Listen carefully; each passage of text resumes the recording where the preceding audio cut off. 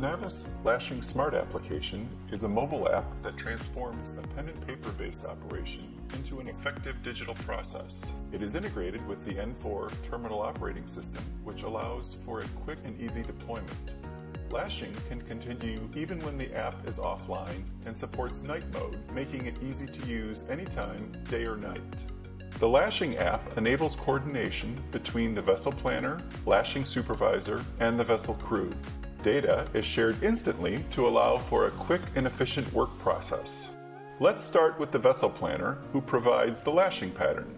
After logging in, a list shows all ships that are currently inbound or at the terminal.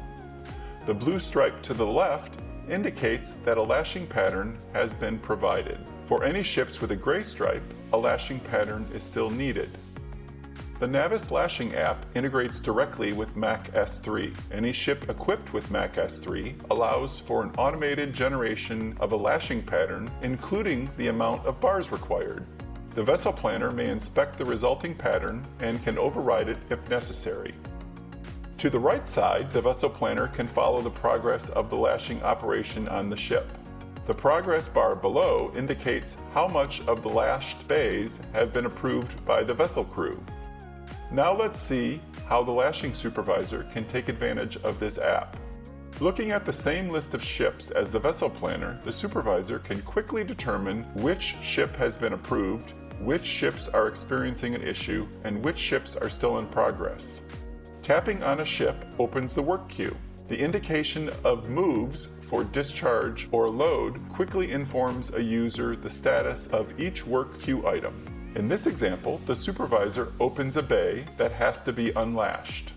There, the appropriate container is tapped and marked as unlashed or being in trouble.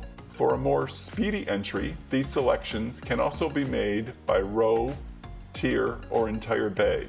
Once finished, the supervisor can move on to the next item in the work queue or filter the list to check all completed items.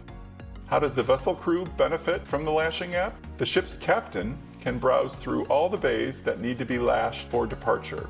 The move count to the right indicates which bays are ready to have their lashing inspected. The completed lashing pattern shown in the app is then compared to the situation on the ship. When satisfied, the captain marks the bay approved. A tap on the Bay Approved button again, and the bay is marked as unverified. The app allows the entry of a comment in case the vessel crew so desires. Navis's single sign-on identity service means that as vessel crews transit from an N4 lashing powered terminal to another N4 lashing powered terminal, they only need a single username and password to log in. After selecting the current terminal and ship, the crew is ready to go through the current lashing process. The mobile lashing app is the first tool that permits a seamless collaboration between multiple parties working together on the lashing process. This eliminates communication bottlenecks and prevents costly delays. The increased data visibility and detail enables terminals to optimize their resource planning. Integrating the vessel crew into this digitized workflow increases accountability and prevents any unwanted litigations. The Lashing app is available for both Android and Apple tablets and phones. So throw away your pen and paper and speed up your operations with the new Navis Lashing app. Visit our website at navis.com for more information or contact your Navis account manager to find out more details about the Navis Lashing app.